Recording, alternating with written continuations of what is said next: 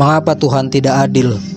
Sebuah pertanyaan yang kadang muncul dalam diri manusia ketika manusia mengalami berbagai hal-hal yang tidak menyenangkan dalam kehidupannya. Sehingga dia membandingkan antara kehidupan dia dengan kehidupan orang lain yang menurutnya jauh lebih menyenangkan. Hingga muncul sebuah pertanyaan, mengapa Tuhan tidak adil terhadap hidupku?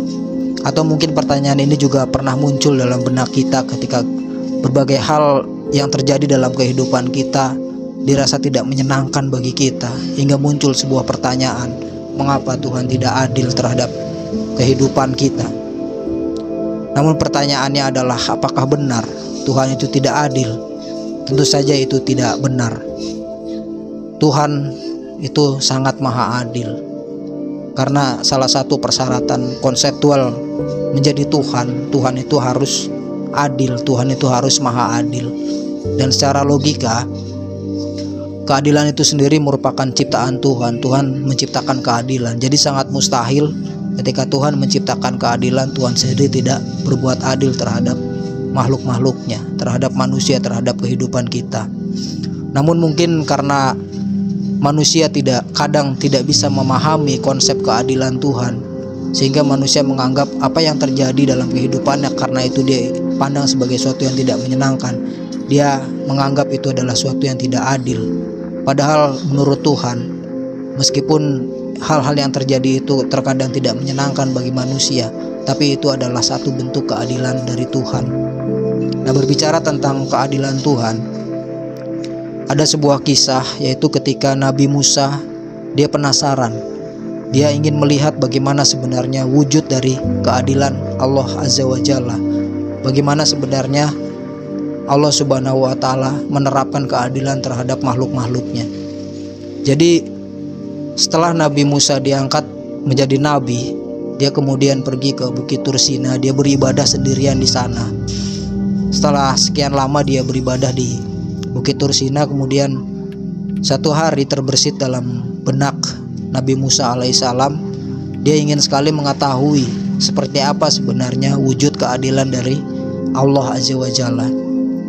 Nabi Musa ini sangat penasaran bagaimana sebenarnya Allah Subhanahu wa taala menjatuhkan keadilannya kepada makhluk-makhluknya yang ada di dunia. Kemudian Nabi Musa pun berdoa kepada Allah Subhanahu wa taala, "Ya Allah ya Tuhanku, aku mohon kepadamu perlihatkanlah kepadaku keadilan dari sisimu." Kemudian Allah Subhanahu wa taala menjawab doanya Nabi Musa. Allah Subhanahu wa taala berfirman, "Wahai Nabi Musa, Sesungguhnya kamu adalah seorang yang terburu-buru. Kau sungguh tidak akan mampu bersabar. Begitu firman Allah Subhanahu wa taala kepada Nabi Musa. Nabi Musa kemudian berkata, "Insya Allah hamba dapat bersabar dengan apa yang engkau tentukan terjadi ya Allah." Begitu jawab Nabi Musa dengan nada membujuk kepada Allah Subhanahu wa taala. Allah Subhanahu wa taala kemudian mengabulkan permohonan dari Nabi Musa. Nabi Musa kemudian diperintahkan untuk pergi ke sebuah tempat di mana di sana ada sebuah mata air. Allah Subhanahu wa taala kemudian memerintahkan Nabi Musa di tempat tersebut untuk bersembunyi di balik batu besar dan diperintahkan untuk menyaksikan berbagai peristiwa yang akan terjadi di tempat tersebut. Allah Subhanahu wa taala berfirman, "Wahai Musa, di sana kamu akan melihat sebagian dari kekuasaan dan ilmuku. Nabi Musa pun pergi mendatangi tempat tersebut di mana di situ ada mata air. Kemudian Nabi Musa bersembunyi di balik batu yang besar.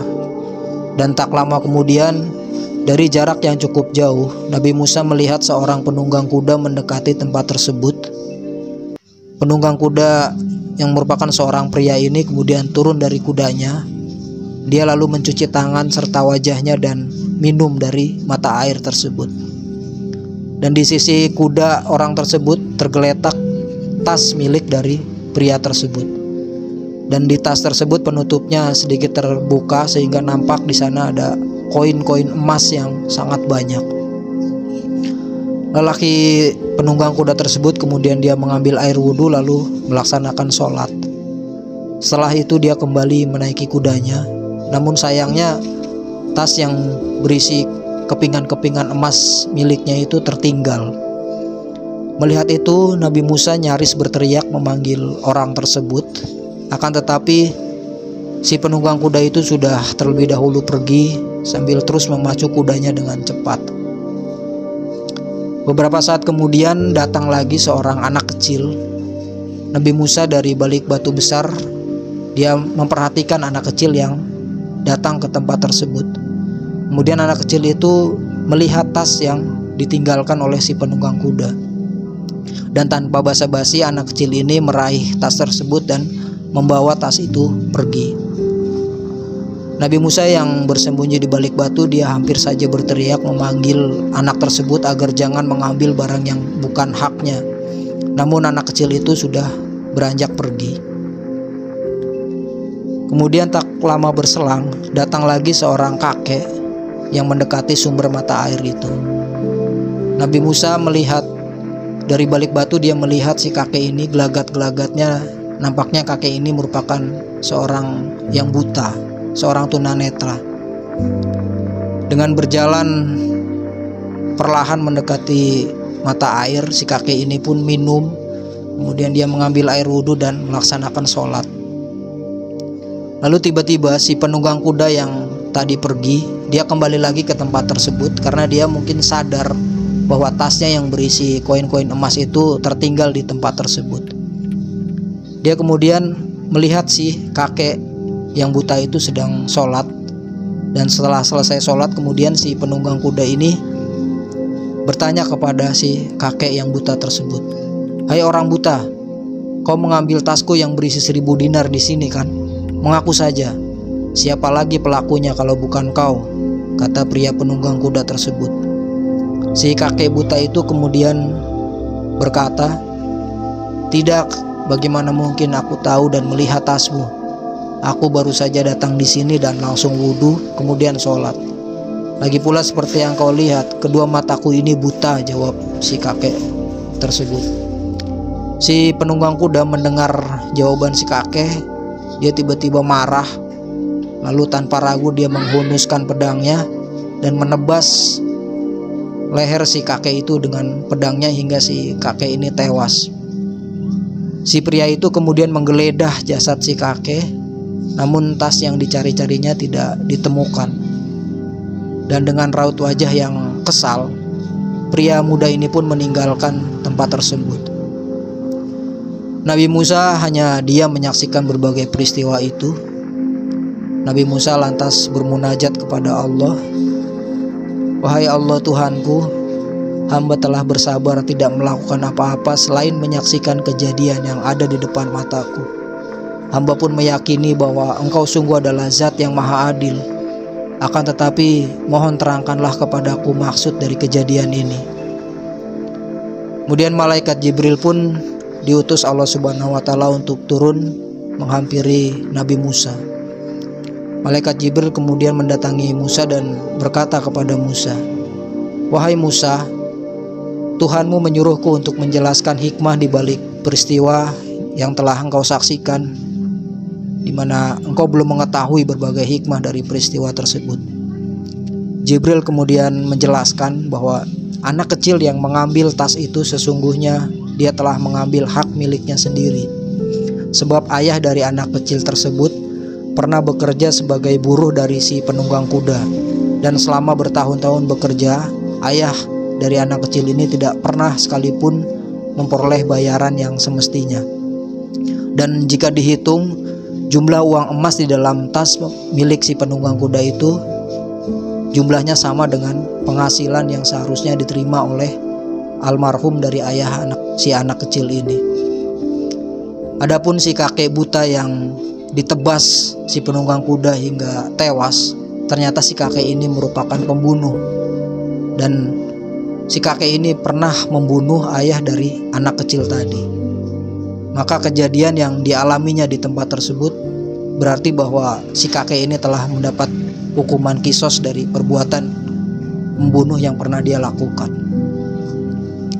Jadi demikianlah setiap orang telah mendapatkan haknya masing-masing dalam peristiwa tersebut. Jadi kalau dilihat hanya dari perspektif biasa tentu kesimpulannya bahwa berbagai peristiwa yang terjadi di tempat tersebut semata-mata hanyalah adanya kasus pencurian dan pembunuhan. Padahal di balik itu kita melihat bahwa di situ ada wujud keadilan Allah yang terjadi. Usai mendengar penjelasan malaikat Jibril, Nabi Musa kemudian sujud kepada Allah dan dia memohon ampunan kepada Allah. Dan masih tentang wujud dari keadilan Allah juga disebutkan sebuah kisah di kitab Tufatul Ashraf di kitab tersebut dikisahkan adanya dua malaikat dua malaikat yang saling bercakap-cakap di mana dua malaikat ini mendapatkan tugas dari Allah Subhanahu wa taala. E, malaikat yang pertama ditugaskan oleh Allah Subhanahu wa taala untuk menumpahkan segelas minuman di mana minuman ini sedang sangat diinginkan sekali oleh seorang waliullah dan waliullah ini sedang sakit parah bahkan sekarat dan dia hampir yang menjelang kematiannya.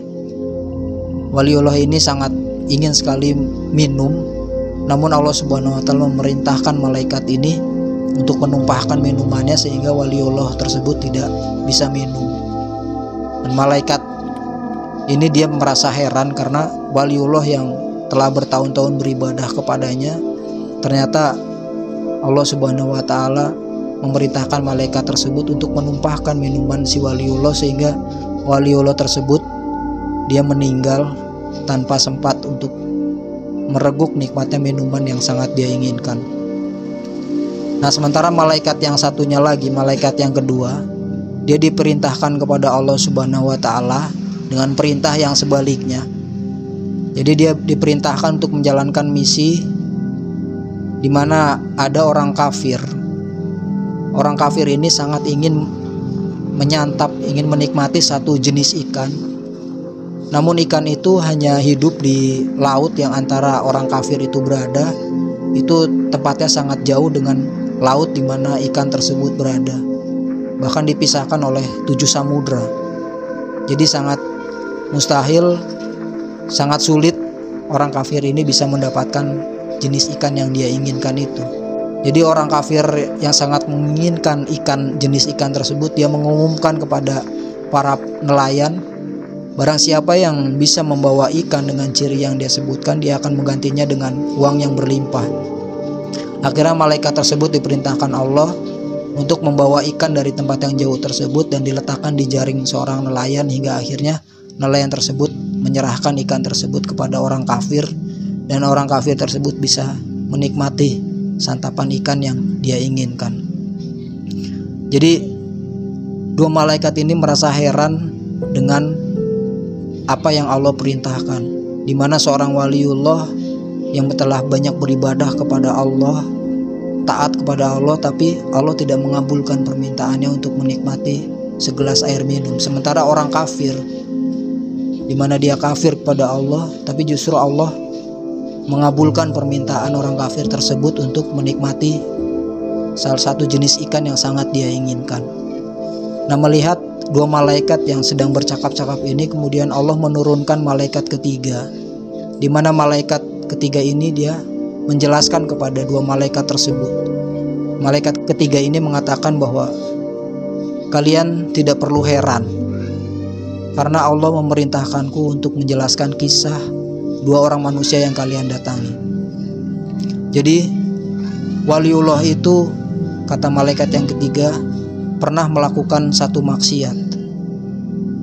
Sehingga Allah Subhanahu wa taala menghalangi dia menikmati apa yang sangat dia inginkan supaya pahala dari perasaan susahnya, susah yang dialami oleh waliullah ini itu dapat melebur dosa maksiat yang pernah dia lakukan. Sehingga di akhirat kelak dia tidak memiliki dosa lagi sehingga Allah Subhanahu wa taala akan memasukkan waliullah ini ke dalam surga. Sementara orang kafir yang menginginkan ikan itu dia telah banyak melakukan kebaikan selama hidupnya. Jadi saat dia menginginkan sesuatu, Allah Subhanahu wa taala memberikannya sebagai balasan kebaikan dia di dunia. Supaya di akhirat nanti orang kafir ini tidak memiliki kebaikan sehingga Allah Subhanahu wa taala bisa memasukkan dia ke dalam neraka selamanya. Nah, dari kisah ini kita bisa melihat bentuk keadilan Allah Subhanahu wa taala bahwa Allah Subhanahu wa taala pasti akan membalas setiap perbuatan manusia, baik itu orang kafir maupun orang beriman. Orang-orang kafir perbuatan baiknya akan dibalaskan di dunia dan orang-orang beriman segala keburukannya, dosa-dosanya itu akan juga dibalaskan di dunia. Mengapa orang-orang kafir kebaikannya dibalas di dunia? Karena di akhirat nanti dia tidak akan lagi punya kebaikan untuk dibalas oleh Allah Subhanahu wa taala sehingga dia akan dimasukkan ke dalam neraka. Sementara orang-orang beriman dosa-dosanya itu akan dibalaskan di dunia sehingga di akhirat nanti dia tidak lagi punya dosa dan Allah Subhanahu wa taala akan memasukkan orang beriman ini ke dalam surga. Allah Subhanahu wa taala berfirman di dalam surat Al-Zalzalah ayat 7 sampai 8. Fama ya'mal misqala dzarratin khairan wa mayamal miskola darotin syaroyaro. Maka barang siapa mengerjakan kebaikan seberat jaroh, niscaya dia akan melihat balasannya. Dan barang siapa mengerjakan kejahatan sebesar jaroh, niscaya dia akan melihat balasannya. Maha benar Allah dengan segala firman-Nya. Allahu alam bisawab. Kebenaran hanya milik Allah Subhanahu wa taala.